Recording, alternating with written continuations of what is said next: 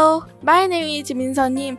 I'm 13 years old. I go to Kalme Elementary School and live in Gyeonggi-do, Korea. It's been about a year since I'm painted and I like the, sub the subject of portraits and landscapes and usually use post paint and I draw a walk.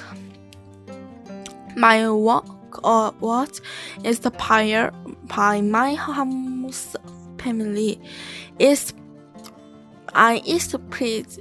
My mother love and use poster paint, watercolor and a marker. I was happy to praise my gratitude my mom to the work.